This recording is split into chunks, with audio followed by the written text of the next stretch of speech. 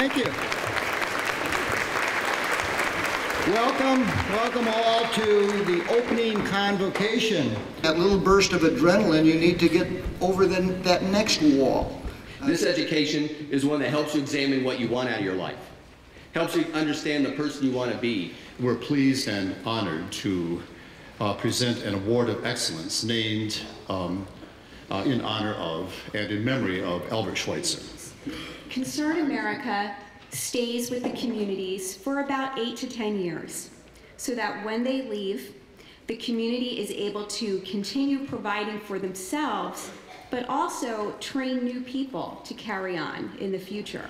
We are delighted to be here today on behalf of Concern America to accept the prestigious Albert Schweitzer Award of Excellence on this very special day for all of you.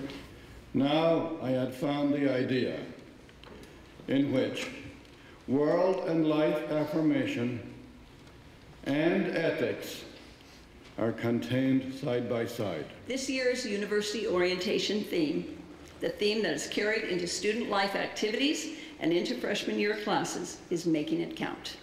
Your education is indeed valuable. Make it count. Ask and tussle with big questions.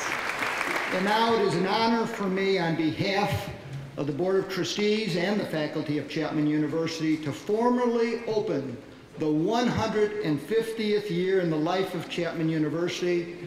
I wish you all Godspeed in what I hope is a vibrant, exciting, and stimulating academic year in your lives. Thank you all for being part of this convocation.